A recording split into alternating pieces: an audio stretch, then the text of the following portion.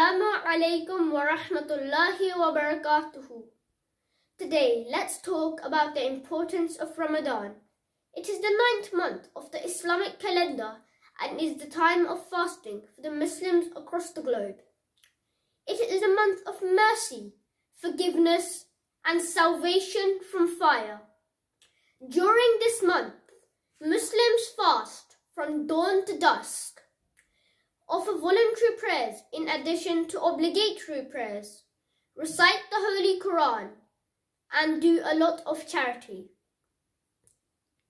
It is important because it includes both forms of Islamic worship, that is, fulfilling the rights of Allah as well as the rights of mankind.